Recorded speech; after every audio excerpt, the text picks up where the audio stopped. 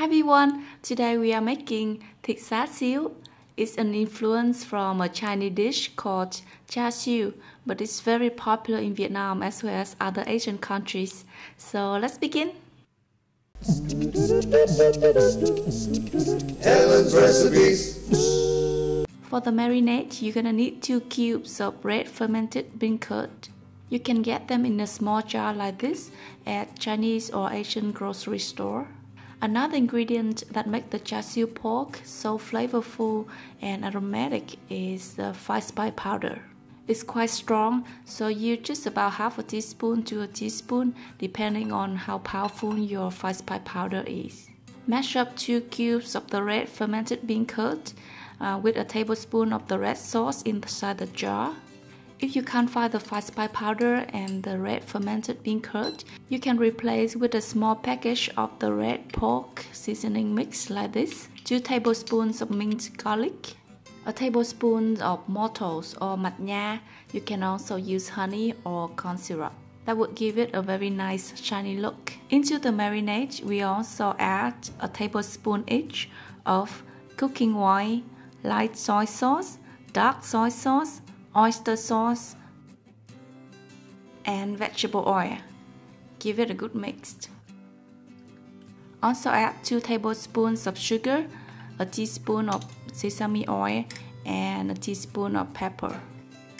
I love using lean pork shoulder for this recipe because even though it's a lean cut, uh, there's still some fat in it that keep the pork moist and not too dry after roasting. You can also use chicken or turkey or firm tofu steak for the vegetarian version. Marinate the meat for 2 to 3 hours at least or better overnight in the fridge. Then stretch them out on a rack placed on top of a baking tray, lined with aluminum foil or baking paper for easy cleaning later.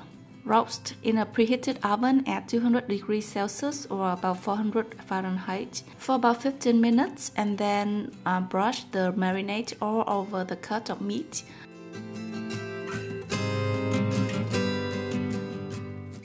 Then turn them over and brush the other sides as well. Look at that shiny glaze, so beautiful.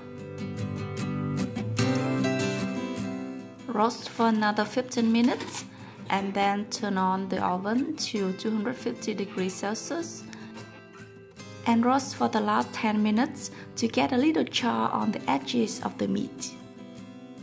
That's it, the meat is cooked just right. It's firm on the outside but still very moist and juicy from the inside.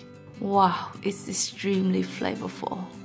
The remaining of the marinade can be turned into a very delicious sauce. Just add about half a cup of water to dilute it a little bit and bring to a boil. One way to serve thịt xá xíu is to make phở xíu. Place some flat rice noodles or bánh phở on top of some fresh greens.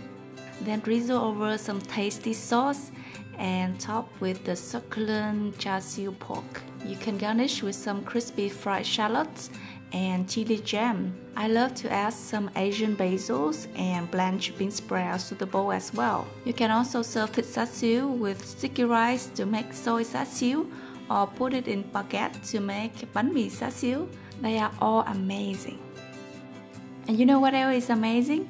All the delicious foods that you have cooked and took photo, uploaded on Instagram, Facebook and Google Plus with hashtag Helen Recipes. I'm so excited every time I see your new photos.